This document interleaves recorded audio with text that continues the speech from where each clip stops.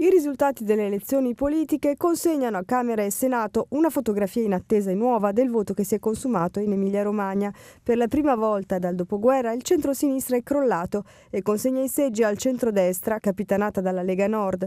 Anche il Movimento 5 Stelle riesce a scavalcare il PD, seppur in modo lieve, balzando al 26,9%. Il risultato della Lega in particolare parla da solo, dal 2,6% del 2013 dal voto di ieri il partito conquista il 19,32% delle preferenze. In particolare, tra i nati dalla Lega si confermano Forza Italia al 9,98% dei voti, Fratelli d'Italia con il 3,36% e Noi per l'Italia allo 0,57%. Un totale per la coalizione di centrodestra del 33,08%.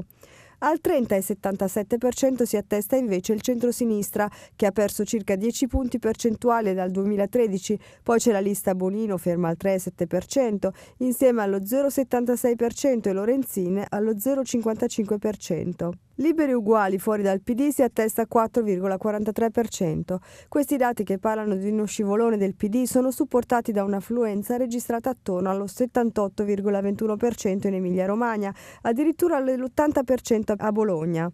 Per quanto riguarda gli eletti nei collegi uninominali alla Camera, in particolare vediamo assicurarsi l'elezione Laura Cavandoli della Lega a Parma con il 35,13% delle preferenze, che la porta in testa anche all'avvocatessa Lucia Annibali del PD, sfigurata con l'acido nel 2013 su mandato dell'ex fidanzato.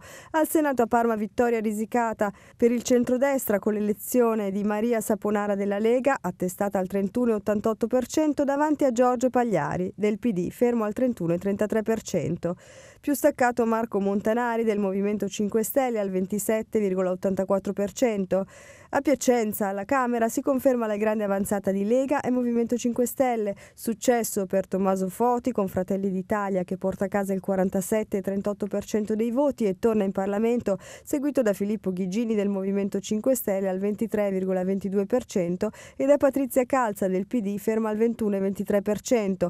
Liberi Uguali invece al 3,76%, mentre Casa Pound all'1,24% e Stefania Sartori di Potere al Popolo all'1,02%.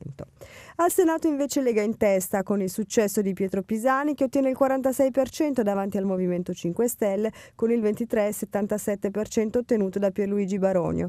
Male andata all'assessore all'ambiente Paola Gazzolo del PD ferma al 22,06%.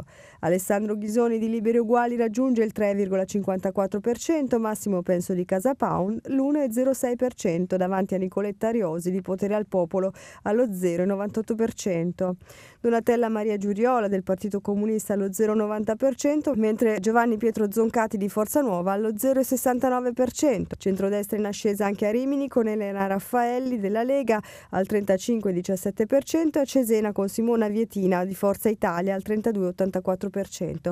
Il centrosinistra resiste invece a Ravenna con Alberto Pagani al 32,56% e a Forlì con Marco Di Maio al 32,7%. I collegi uninominali al Senato a Bologna vedono la conferma di Pier Ferdinando Casini Salvini per il centro-sinistra col 34,15% dei voti. Alla Camera vanno anche Beatrice Lorenzina a Modena e Graziano Del Rio a Reggio Emilia.